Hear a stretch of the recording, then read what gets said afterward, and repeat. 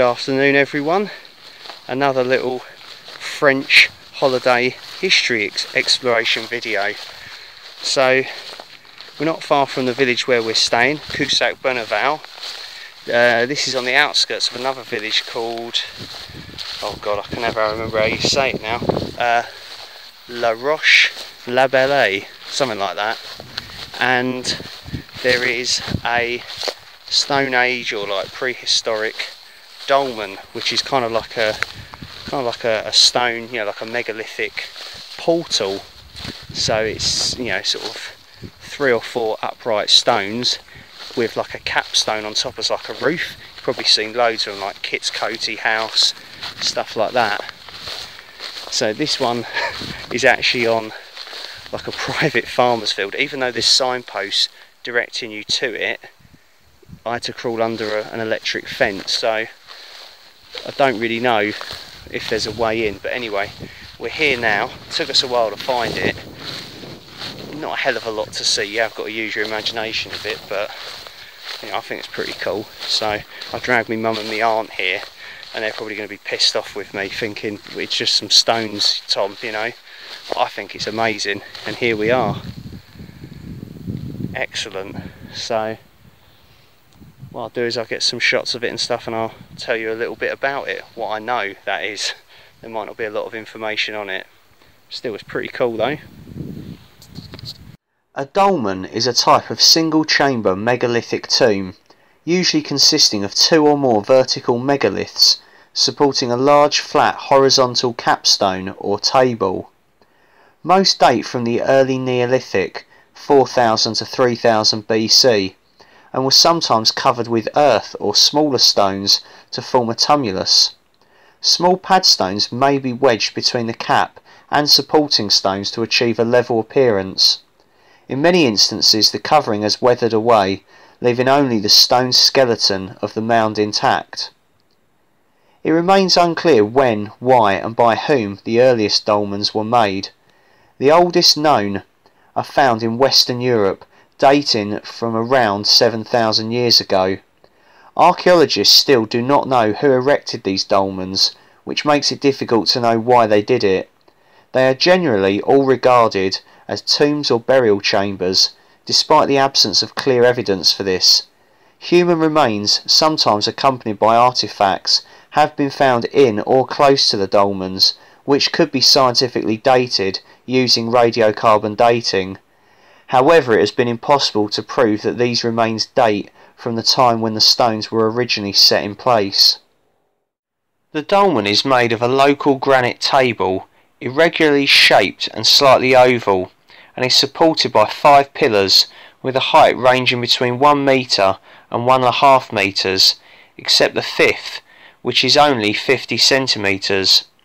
A legend tells that three shepherds carried the stones that support the table one of them was lame and could only carry a smaller stone, hence the slope of the monument. So it was worth the look, I thought, anyway. My mum and my aunt sodded off, they just went, nah. It's alright. My mum even just went, doesn't look that old. I was like, come on. Like, where do you see architecture like that?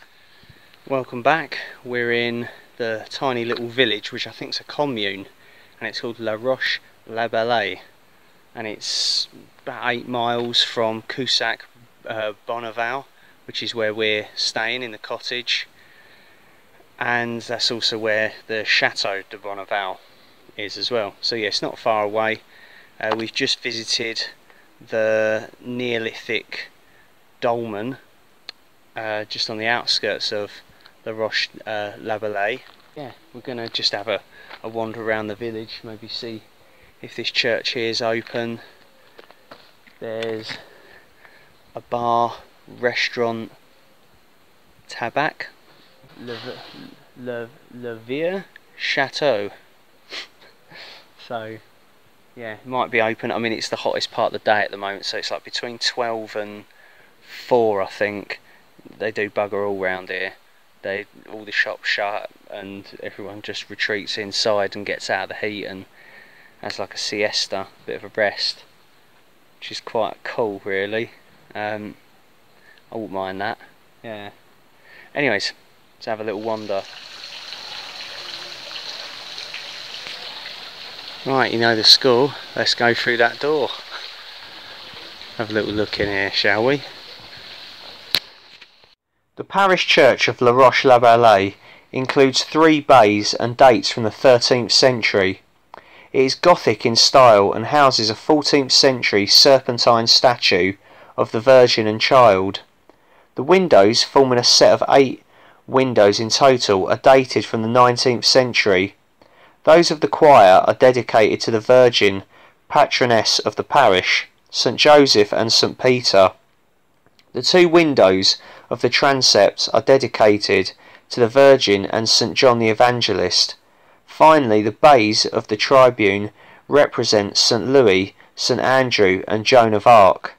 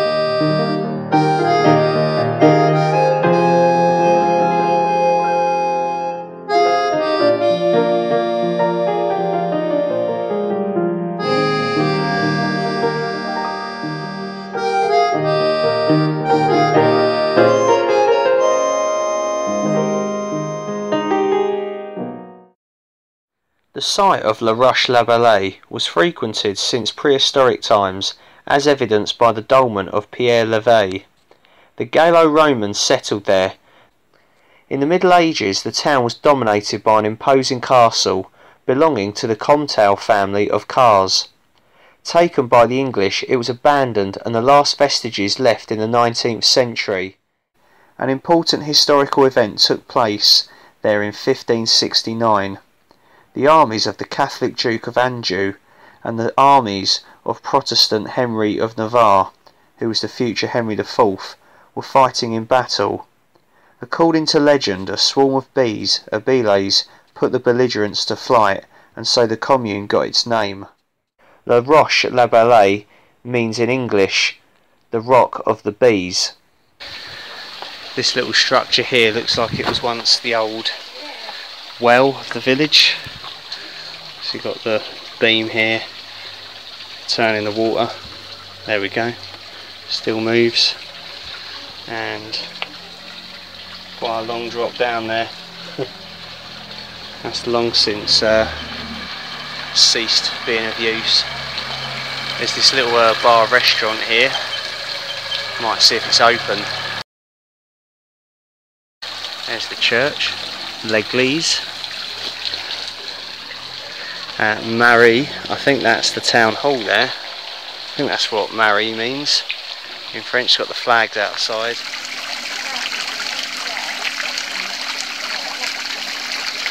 Yeah, hope you enjoyed the video. Cheers for watching. Stay tuned for more of my French adventures. Sounds a little bit dirty, but you know what I mean anyway. My French holiday. Anyway, guys, thanks for watching. Thanks for the support. See you again soon. Bye or au revoir.